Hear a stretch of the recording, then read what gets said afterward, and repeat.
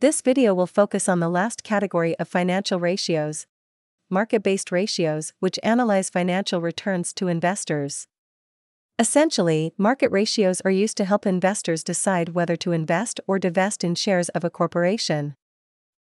There are three key market ratios that are covered in Chapter 12. Earnings per share, commonly known as EPS, the price earnings ratio, and dividend yield. Let's begin with earnings per share, or EPS, which measures shareholders' returns on a per share basis. EPS is calculated by taking net income and subtracting preferred share dividends, then dividing by the number of common shares outstanding. For Big Dog, the 2024 EPS is $1.16, calculated as $116,000 in net income divided by 100,000 common shares outstanding. For 2023 and 2022, the EPS is $1.17 and $1.12, respectively, calculated the same way. The company has no preferred shares in this case, so that's why we can use net income without any adjustment here.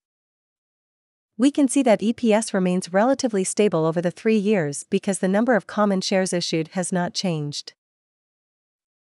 The next ratio is the price earnings, or PE ratio, which reflects market expectations of future profitability. The PE ratio is calculated by taking the market price per share divided by the EPS. Let's assume that BDCC's average market price per common share was $4 in 2022, $5 in 2023, and $6 in 2024. For 2024 Big Dog's PE ratio would be $5.17, calculated as the $6 market price divided by the previously calculated EPS of $1.16.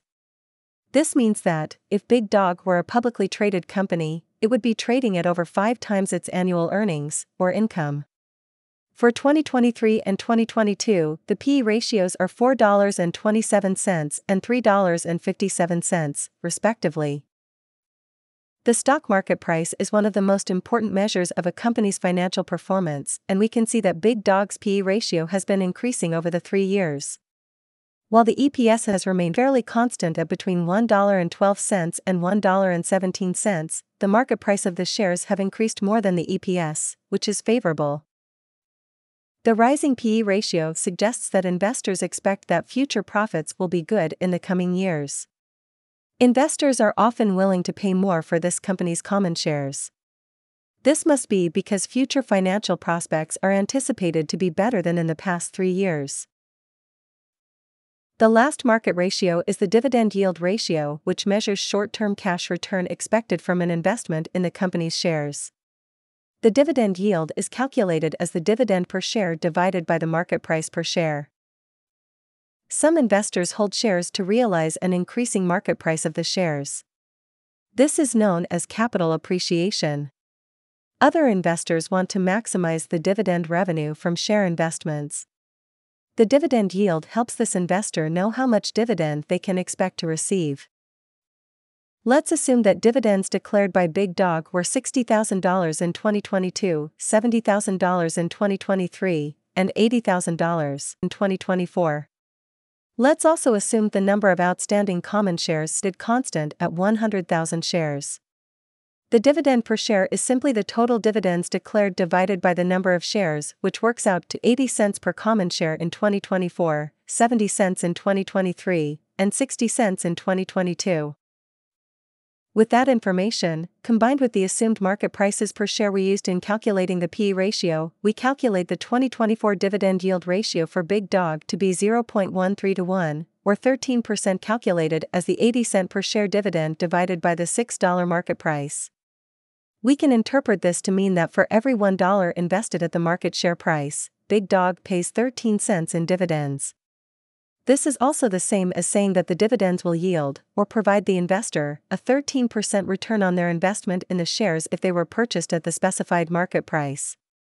For 2023 and 2022, the dividend yields are 14% and 15%, respectively. We can see that investors have received decreasing amounts of dividends relative to the market price, which could be cause for concern for those investors expecting steady cash returns.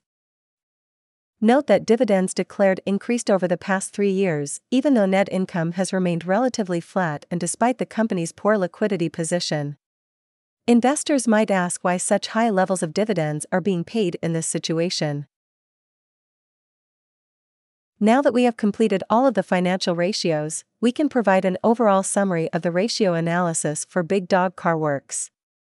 First, it's important to be aware that ratio analysis is more useful if accompanied by external supporting information such as overall industry performance ratios, general economy indicators, financial ratios from prior years, analysts' opinions, and management's plans.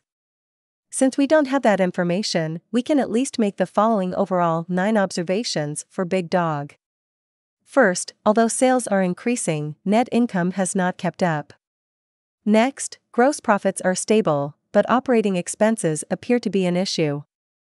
Third, income from operations has not kept up with the increases in the asset base, including increases in current assets.